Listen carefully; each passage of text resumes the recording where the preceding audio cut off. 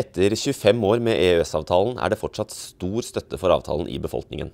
Faktisk mener sju av ti at avtalen er en god avtale for Norge, mens bare omtrent to av ti mener det motsatte. Det er også støtte for avtalen blant eh, velgerne til alle partiene som er representert på Stortinget, med unntak av Rødt.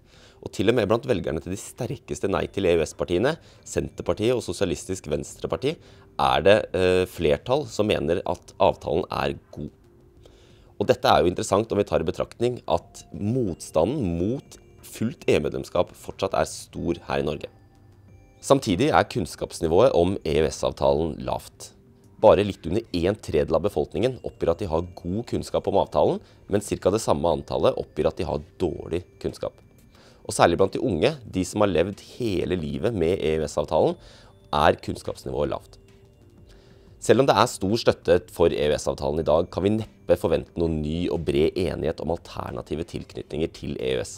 Og dersom EØS-avtalen skulle komme i spill, vil disse spenningene vise seg. Vi finner at velgerne til alle partiene med representasjon på Stortinget vil være splitta i spørsmålet om en alternativ tilknytningsform til EU. Faktisk er det mange av de som mener at avtalen er en god avtale for Norge, som også mener at dersom den kom i spill, burde Norge søke en mindre omfattende avtale. Her er det interessant å se til Storbritannia og brexit. Der har mangelen på nasjonal enighet om tilknytningsformen skapt et politisk kaos uten sidestykke. Vi kan ikke se bort fra at det samme vil skje i Norge dersom EØS-avtalen kommer i spill.